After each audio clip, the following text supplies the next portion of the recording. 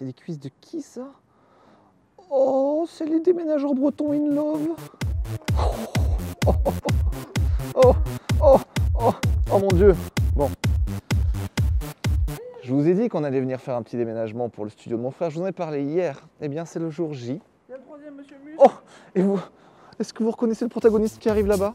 Et là qui s'en vient? Mais c'est c'est la réunion des super-héros de cette chaîne humaine. Namaste Maté Oh là là, oh là là, les déménageurs b- euh, roumains. T'es roumain toi, non? Il est joli ton pull. C'est qui qui te l'a donné? Un être que j'aime beaucoup. Oh, oh.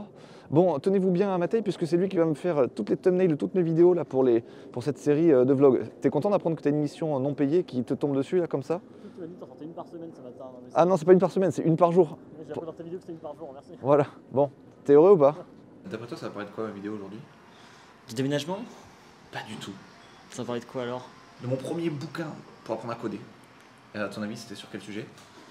Euh, Sur le CSS Sur le HTML Sur le JavaScript? Sur le VJS Je sais pas. GitHub. GitHub. Tu crois vraiment qu'à 15 ans, j'ai appris GitHub? GitHub. Bah oui. Toutes les personnes de ce salon disent n'importe quoi.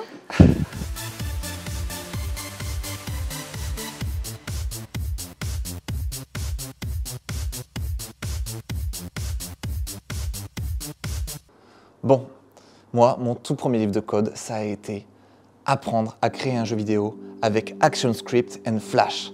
Flash, si vous vous souvenez, c'est l'ancêtre de tout ce qui a été innovant sur le web. C'est ce qui a permis de créer les FWA, les sites comme Awards et compagnie, et surtout tous les petits jeux vidéo que vous aviez dans le navigateur à l'époque. Et il y a eu des trucs loufoques, des trucs dans tous les sens, Yeti Sport, souvenez-vous de toutes ces choses-là, c'était assez fascinant et ça donnait super envie. Flash, il y avait aussi Dofus qui était créé avec Flash. Enfin, il y avait tout, tout, tout. C'était méga passionnant, c'était l'Eldorado.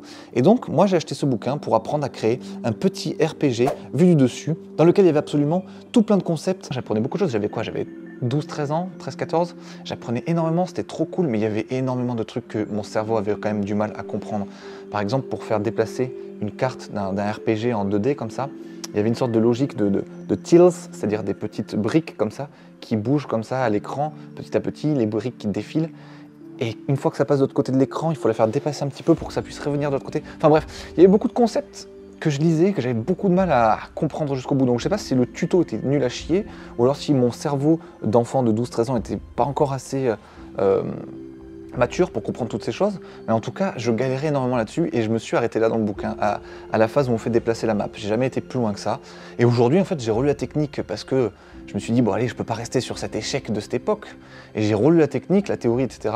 Je sais pas si c'est parce que j'ai trouvé un super tuto ou pas, mais en tout cas, c'était limpide comme de l'eau de roche. Et je précise qu'à l'époque, mon but ultime dans l'informatique, c'était de faire des jeux vidéo.